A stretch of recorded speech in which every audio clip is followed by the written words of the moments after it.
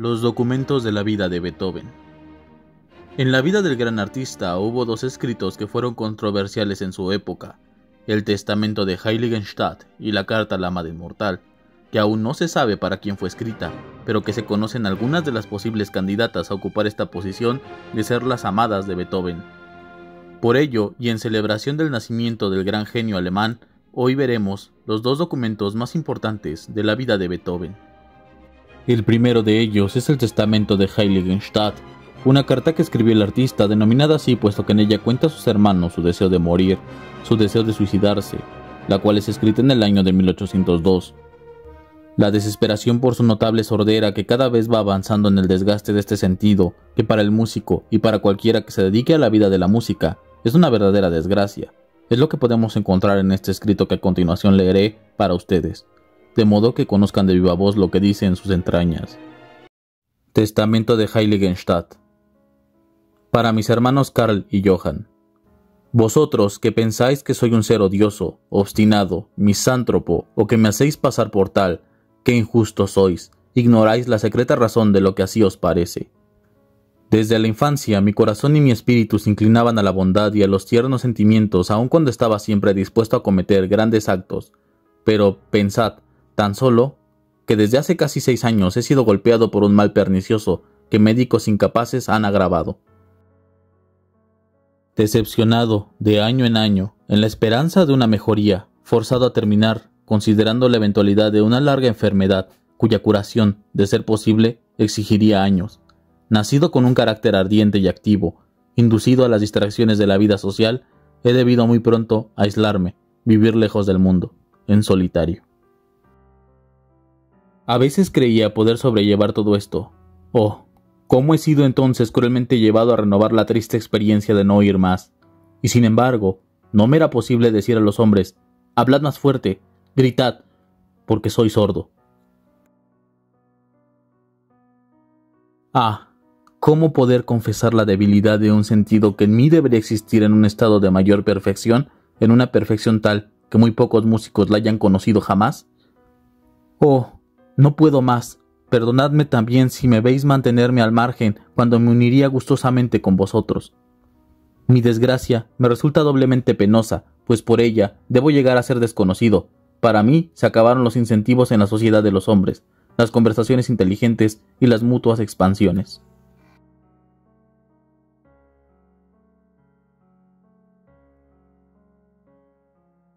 Absolutamente solo, o casi, Solamente en la medida en que lo exija la más absoluta necesidad, podré volver a tener contacto con la sociedad.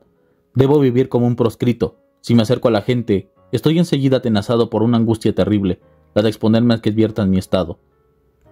Así he pasado estos últimos seis meses, en el campo, aconsejado por mi inteligente médico, para cuidar mis oídos lo más posible.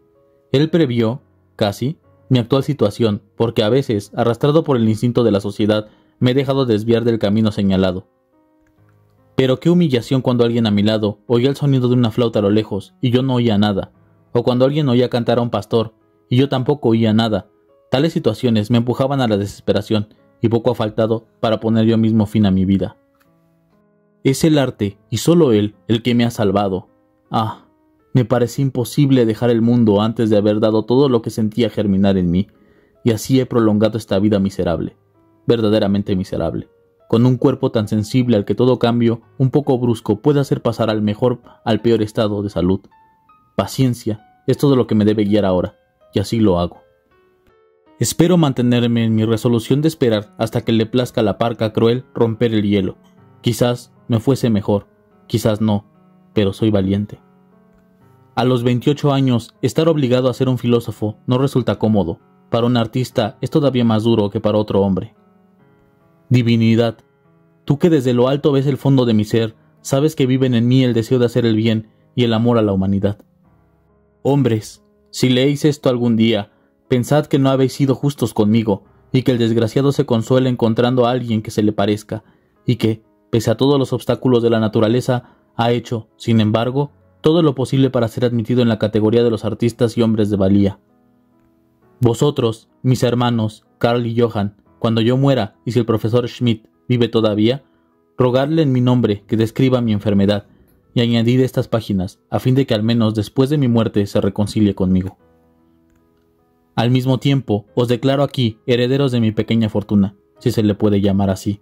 Repartidla honestamente, comprendeos y ayudaos mutuamente. Lo que habéis hecho contra mí, os lo he perdonado hace tiempo, bien lo sabéis.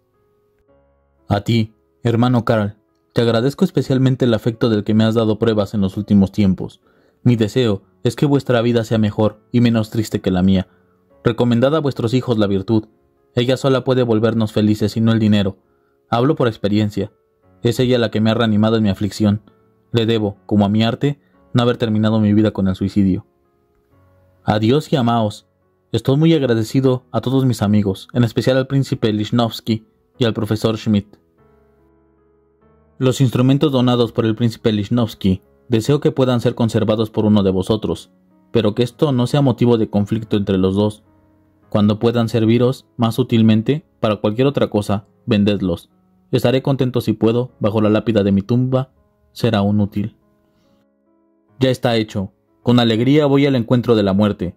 Si viene antes de que haya tenido ocasión de desplegar todas mis posibilidades para el arte, entonces llega demasiado pronto para mí, a pesar de mi duro destino, y me gustaría que no fuese más tardía. Sin embargo, aún entonces sería feliz. ¿No me librará ella de un estado de sufrimiento sin fin? Ven cuando quieras, voy animosamente a tu encuentro. Adiós, y no me olvidéis del todo en la muerte. Tengo derecho a esto de vuestra parte, ya que durante mi vida he pensado frecuentemente en haceros felices. Sedlo. Heiligenstadt, 6 de octubre de 1802.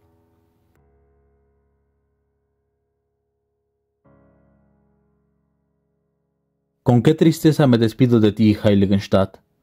Con qué tristeza la amable esperanza de cura que aquí me trajo, o al menos de alivio, debe morir del todo. De igual manera que las hojas del otoño caen y se marchitan, mi ilusión se me ha secado. Me voy casi como vine. El mismo esforzado valor que a menudo me socorría en los días bellos del estío se ha desvanecido del todo. Dios mío, concédeme por una sola vez un día de alegría. Hace tanto tiempo que el profundo eco de la alegría verdadera me es desconocido. Oh, ¿cuándo, Señor, cuándo podría yo oírlo en el templo de la naturaleza y de los hombres? ¿Nunca? No, eso sería demasiado cruel.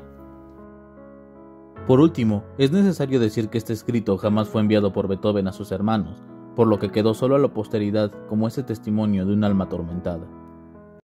Carta a la Amada Inmortal La carta fue conocida poco después de la muerte del artista en 1827, al buscar los valores bancarios del artista por Schindler, Browning y Johann, el hermano del artista, que se encontraba junto a estos valores, y el testamento de Heiligenstadt, el documento estaba compuesto por diez páginas, en las cuales Beethoven declaraba su admiración y su amor a un remitente desconocido, que incluso hoy en día es cuestión de polémica y un enigma por no conocer a quién estaba destinada la carta. Lo único que se sabe es que la carta estaba fechada con el lunes 7 de julio, pero sin año, Muchos sospechan que el año de su escritura sería 1812, que fue el momento en donde se encontraba en el balneario de Teplitz, donde se encontró con Goethe. Por la información faltante, no se conoce mucho más, solo que son una serie de cartas enviadas a una mujer, escritas durante el mes de julio de 1812. Sin embargo, la expresión que Beethoven usaría no sería la amada inmortal, sino que su traducción correcta sería para la eternamente amada. Entre las posibles candidatas a ser la eternamente amada tenemos a Antonie Brentano, quien era una mujer adinerada a la cual Beethoven solía visitar. Sin embargo, se suele descartar que fuese ella la amada a la que se refiere la carta, puesto que tenía esposo, quien era aparte buen amigo y asesor financiero de Beethoven, por lo que su moralidad le habría impedido sostener una relación con esta mujer.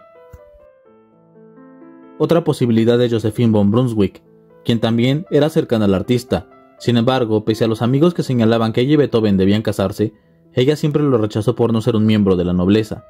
Sin embargo, su cercanía era tal que en cartas descubiertas en el año de 1950 le llamó mi ángel, como en la carta de la eternamente amada, por lo que los investigadores sostienen que ella era la mujer que Beethoven designaría esta carta de profunda admiración y amor.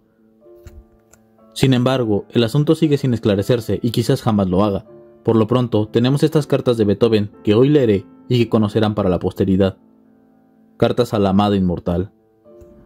En la mañana, mi ángel, mi todo, mi mismo yo, solo unas pocas palabras hoy, y en efecto con lápiz, con el tuyo. Recién mañana se va a decidir definitivamente sobre mis alojamientos. Qué inútil pérdida de tiempo, porque este profundo dolor, cuando habla la necesidad, puede nuestro amor existir, sino a través del sacrificio, de no pedir todo del otro. Puedes cambiar el hecho de que tú no seas completamente mía y yo no completamente tuyo. Oh Dios. Mira la hermosa naturaleza y consuela tu alma acerca de lo que debe ser. El amor lo pide todo y completamente, y con razón. Así es para mí contigo, para ti conmigo solo que olvidas tan fácilmente que yo debo vivir para mí y para ti. Si estuviéramos completamente unidos, ¿tú sentirías este dolor tan poco como yo? Mi viaje fue aterrador. Llegué aquí recién a las 4 de ayer a la mañana, pero faltaban caballos. El cochero eligió otra ruta, pero qué horrible camino. En la penúltima posta me advirtieron acerca de viajar de noche, tratando de asustarme de un bosque, pero esto solo me pareció un desafío. Y yo estuve equivocado. El carruaje tenía que romperse en tal terrible ruta, una ruta de lodo sin fondo. Sin dos postillones como tenía, hubiera quedado atascado en el camino Esterhazy, en la otra ruta, de costumbre. Tuvo la misma suerte con ocho caballos que yo con cuatro. De todos modos, tuve alguna satisfacción. Como siempre, cuando tengo la fortuna de superar con éxito algo, ahora rápidamente, al interior desde el exterior, nosotros probablemente nos veremos pronto. Hoy todavía no puedo transmitirte los pensamientos que tuve durante estos pocos días acerca de mi vida. Si estuvieran nuestros corazones siempre juntos y unidos, yo por supuesto, no tendría nada que decir, mi corazón está lleno de tanto por decirte. Oh, hay todavía momentos cuando encuentro que la palabra no es nada en absoluto. Alégrate, permanece mi fiel y único tesoro, mi todo, como yo para ti. El resto los dioses deben comunicarnos lo que deba hacer para nosotros. Tu fiel Ludwig. Lunes a la tarde. Está sufriendo mi queridísima criatura. Recién ahora me doy cuenta que las cartas deben ser despachadas muy temprano en la mañana. Lunes, jueves, los únicos días en los cuales el correo va de aquí hasta acá. Oh, donde sea que estoy, tú estás conmigo. Me digo a mí y a ti, arregla para que pueda vivir contigo. Qué vida, como es ahora, sin ti, perseguido por la amabilidad de la gente, aquí y allí, que ni quiero merecer ni merezco. La humildad del hombre hacia el hombre me lastima, y cuando me veo a mí mismo, en el marco del universo, que soy yo, y que es Él, a quien uno llama el más grande, y aún así, aquí está otra vez la chispa divina en el hombre, yo lloro cuando pienso que probablemente no recibas las primeras noticias de mí hasta el sábado. Por mucho que tú me ames, yo te amo hasta más profundamente, pero nunca te escondas de mí. Buenas noches. Como estoy tomando los baños, debo irme a dormir. Ir a tan cerca, tan lejos, no es nuestro amor un verdadero edificio celestial, pero también firme como el firmamento. Buenos días. Mientras estoy aún en la cama, mis pensamientos se lanzan a sí mismos hacia ti, mi eternamente amada, de a ratos alegres y entonces otra vez tristes, esperando el destino, si ese nos otorga una resolución favorable. Yo puedo solo vivir ya sea totalmente contigo o no viviré. Si he resuelto vagar sin rumbo en la distancia, hasta que pueda volar a tus brazos y pueda considerarme enteramente en casa contigo, y pueda enviar mi alma abrazada por ti al reino del Espíritu, sí, infortunadamente así debe ser. Tú debes dominarte más al conocer mi fidelidad a ti. Nunca puede otra poseer mi corazón. Nunca, nunca. Oh Dios, ¿por qué tener que separarse uno mismo de lo que uno ama tanto? Y así mi vida en Viena, como es ahora, es una vida miserable. Tu amor me hace el hombre más feliz y el más infeliz al mismo tiempo.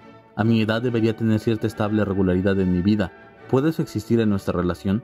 Ángel, ahora mismo escucho que el correo va todos los días, y por lo tanto, debo terminar, de modo que tú recibirás la carta inmediatamente.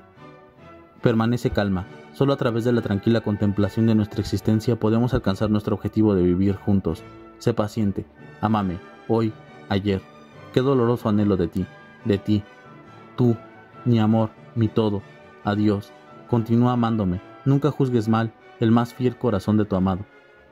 Siempre tuyo, siempre mía, siempre nuestro.